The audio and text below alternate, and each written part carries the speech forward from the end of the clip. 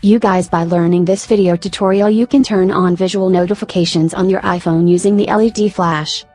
So after watching this video don't miss to subscribe my channel and tap bell icon to get our Xert video guide free of cost.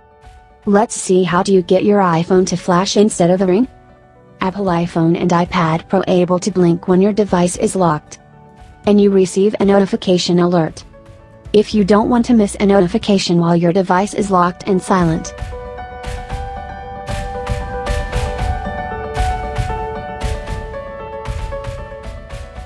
Let's get started to turn on LED flash for alerts on your iPhone and compatible iPad Pro.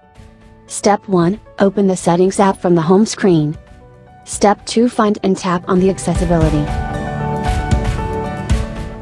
In step 3 scroll down the screen tap audio and visual. Step 4 turn on LED flash for alerts. Step 5 Turn on flash on silent if you want LED flash for alerts only when your iPhone or Apple iPad Pro is silenced mode.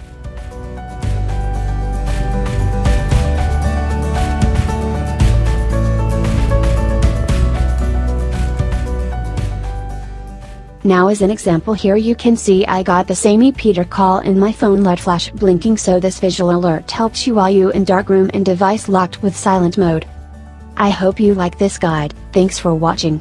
Last please don't miss to subscribe to my channel and tap bell icon to get our Xert video.